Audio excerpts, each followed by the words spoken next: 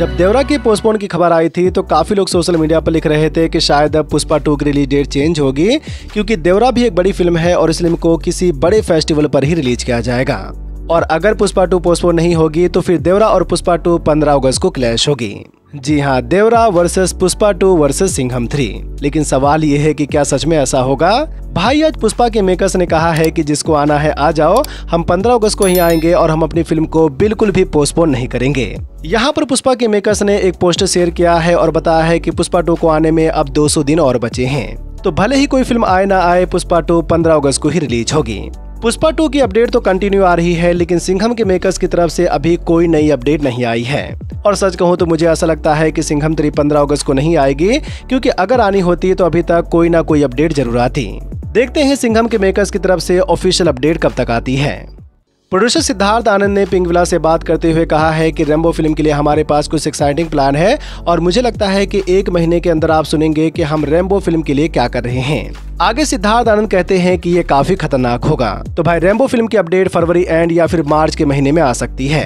Rainbow फ़िल्म की announcement काफ़ी पहले हुई थी और उस टाइम इस फ़िल्म को सिद्धार्थ आनंद डायरेक्ट करने वाले थे।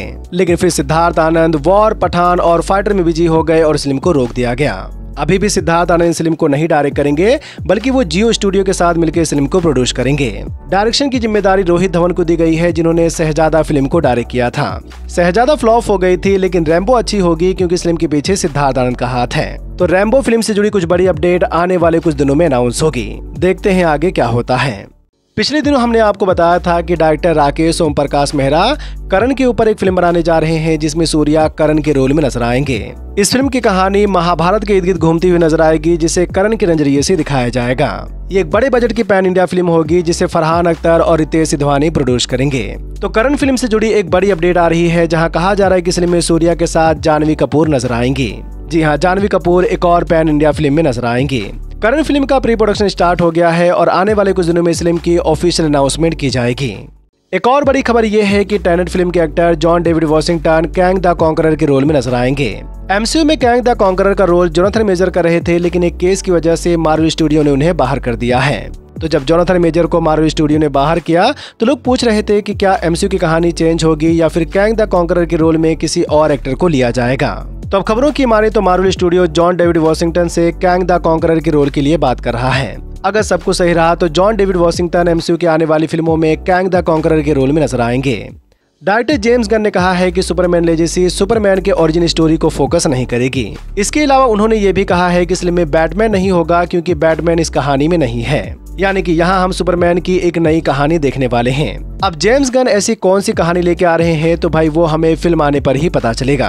वैसे जेम्स गन बना रहे हैं तो भाई कुछ तो खास होगा ही। सुपरमैन लेजेसी की शूटिंग आने वाले कुछ दिनों में स्टार्ट होगी और ये फ़िल्म जुलाई 2025 में रिलीज़ होगी।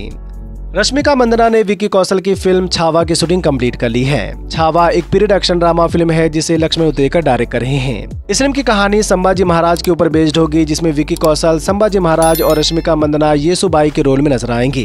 रश्मिका मंदना ने अपने सोशल मीडिया पर एक नोट शेयर किया है, जिसमें उन्होंने लिखा है कि मेरी शूटिंग दो दिन पहले खत्म हो गई थी, लेकिन मुझे ये स्वीकार करने में दो दिन लग गए। उसके अलावा उन्होंने फ़िल्म के क्रू मेंबर के साथ डायरेक्टर और विकी कौशल की तारीफ़ की है। विकी कौशल की ये फ़िल्म 6 दिसंबर को सिनेमाघरों में रिलीज़ होगी। गोपी चंद की आने वाली फ़िल्म भीमा की रिलीज़ डेट कन्फर्म हो गई है। भीमा एक एक्शन ड्रामा फ़िल्म है जिसमें गोपी चंद एक पुलिस ऑफिसर के रोल में नज़र आएँगे। टीजर काफ़ी अच्छा है तो देखते हैं फ़िल्म की कहानी कैसी होती है। ये फ़िल्म 8 मार्च को सिनेमाघरों में रिलीज़ होगी। हॉलीवुड की सबसे popular animated franchise Despicable Me को तो आप सबने देखा ही होगा। तो इसका चौथा पार्ट आ रहा है और आज इसके ऑफिशियल ट्रेलर को रिलीज़ किया गया है। यहाँ इस ट्रेलर में आप गुरु और मिनियंस को अपने वही चुलबुले अंदाज में कॉमेडी करते हुए देख सकते हैं। ट्रेलर को देखकर लग रहा है कि इसलिए में भी हमें काफ़ी ज़्यादा कॉमेडी देखने को मिलेगी। डेस्पेकुल में फोर जुलाई के महीने में सिनेमाघरों में रिलीज़ होगी। वैसे क्या आपने मिनियंस की पिछली फ़िल्मों को देखा है? अगर देखा है तो मिनियंस की फ़िल्में आप सबको कैसी लगी हैं, हमें कमेंट में ज़रूर बताएँ। वीडियो को लाइक करें, अपने दोस्तों के साथ भी फेसबुक व्हाट्सएप ट्विटर पर ज़रूर शेयर करें और चैनल को सब्सक्राइब करना तो बिल्कुल ना भूलें। धन्यवाद।